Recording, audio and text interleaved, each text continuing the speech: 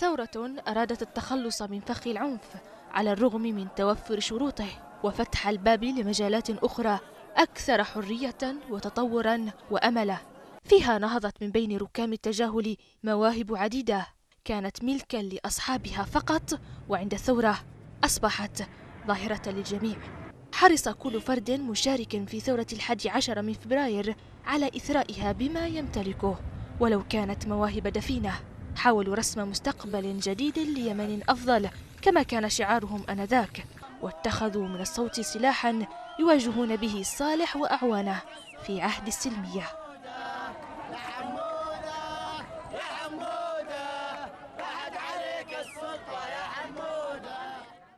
بزغ نجم الكثير من الرسامين والمصورين والفنانين والصحفيين حين تحولت الألوان والأفكار إلى واجهات الساحات والشوارع بفكر معبر عن كل ما كان يدور حينها في فكرهم من مستقبل آخر غير ذاك المعايش يومها. قنوات تلفزيونية صحف محلية رأت النور من بعد ذلك اليوم وغاب نظام الصوت الواحد. اليوم وبعد مرور ست سنوات تغيرت المعادلة. من كانوا يتصدرون الساحة من إعلاميين ومصورين وصحفيين ورسامين والكثير الكثير منهم عورب بعضهم في عهد الميليشيا الجديد. قتل البعض منهم اختطف آخرون وهناك من شردوا خارج أوطانهم أو من فقدوا وظائفهم وحتى حياتهم. بالرغم من هذا ما يزالون يتصدرون المشهد ولم يتغيبوا عن الظهور.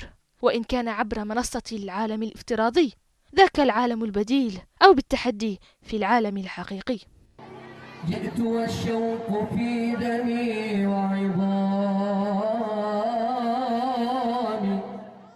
صالح المزلم أحد الفنانين من سطع نجمهم في الحادي عشر من فبراير حينها كان الأذان في الساحة يصدح بصوته فقط ومن نغماته تعرف الثورة.